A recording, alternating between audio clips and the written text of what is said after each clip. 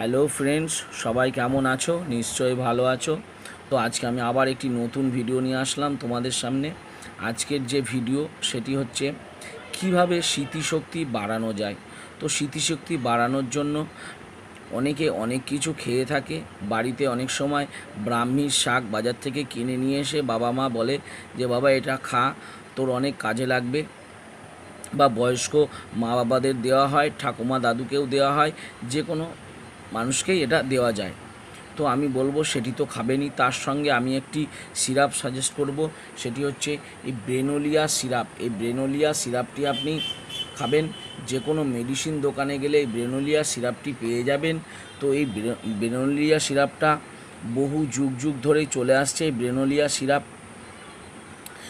বাচ্চাদের ক্ষেত্রে পাঁচ থেকে সাত এম করে দুবার করে খাওয়াবেন। খাওয়ার পর আর বয়স্ক মানুষদের জন্য দু চামচ করে দিনে দুবার খাওয়ার পরে খাবেন।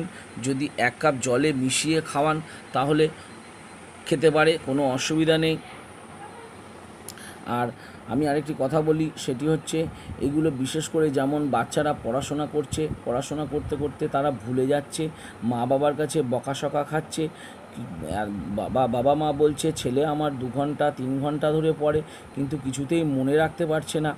তো আমি বলব, এই ব্রেনোলিয়া সিরাপটি খাওয়াবেন, তাতে আপনার অনেক উপকার পাবেন এবং আরও কি হচ্ছে, যখন বয়স্ক মা, বাবা, দাদু, ঠাকুমারা, এদেরও অনেক সময় কি হচ্ছে, ওষুধ খাচ্ছে বা ওষুধ এক জায়গায় রেখেছে, খুঁজে পাচ্ছে না।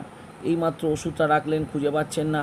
ওপরে চশমা লাগিয়ে রেখে দিয়েছেন এবং চশমা চোখে না রেখে মাথায় রেখেছেন এবং খুঁজে খুঁজে বেড়াচ্ছেন। কোথায় আছে খুঁজে পাচ্ছে না। ব্রেনের চাপ পড়ছে, স্মৃতিশক্তি কমে যাচ্ছে।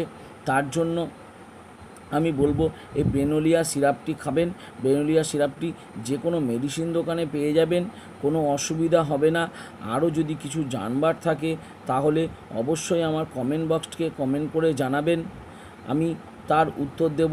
আর আমার এই চ্যানেলে প্রতিদিন নতুন নতুন ভিডিও আমি দিয়ে থাকি। আজকে আর কিছু বলব না। তো যদি আমার এই ভিডিওটি ভালো লাগে, তাহলে অবশ্যই একটি লাইক করবে। পাশে থাকা বেল আইকনটি প্রেস করে দেবে।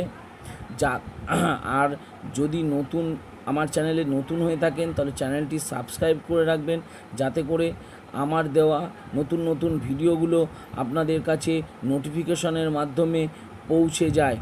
তো আজকে আমি এখানেই শেষ করলাম। আবার দেখা হবে পরের ভিডিওতে। বাই বাই, ভালো থাকবেন, সুস্থ থাকবেন।